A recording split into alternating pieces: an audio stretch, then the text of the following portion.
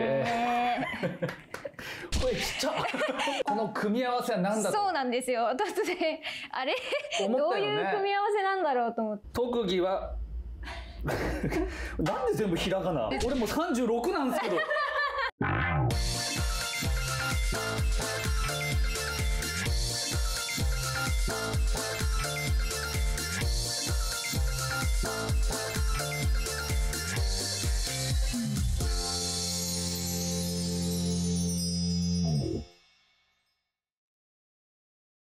皆さんこんにちは。日向大輔です。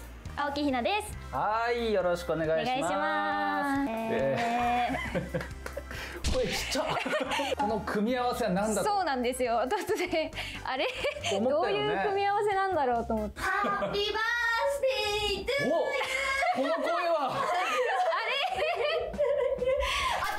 日おめでとあらありがとうございます。あれ？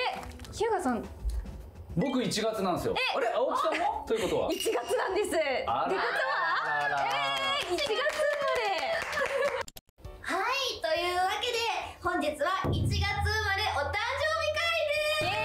ありがとうございます。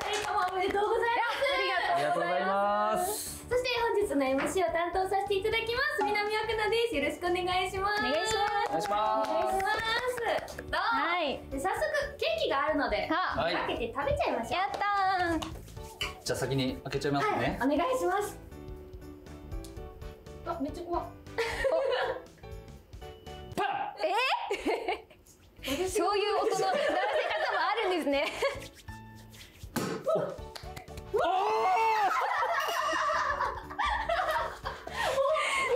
ン取れ高やば。ここからははい。改めて視聴者の皆さんに響きのメンバーについて知っていただきたいということではい。実は撮影前にね書いてもらったプロフィールがあるんですよね、はい。なのでそちらを見ていきましょおい。身長は173センチ、えー、靴のサイズは26.5おおうサイズまで教えて特技は？なんで全部ひらがな？自分で書いたんですよね。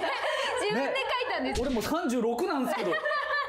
特お名前青木ひなです。誕生日は1月5日です、えー、星座はヤギ座血液型は A 型です。身長150センチ靴のサイズ22.5センチです。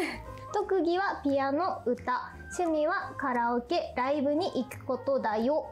すごい自画像めっちゃ可愛いね。可愛いですか？ね上手。可愛い。なんか女の子っていうやっぱ書き方だよね。俺とは全然違うよ